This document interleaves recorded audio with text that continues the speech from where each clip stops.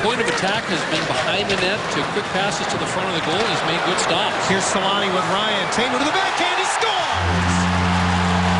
What was he you said a couple of games ago? We haven't seen him go backhand this year. That was a pretty good looking backhand.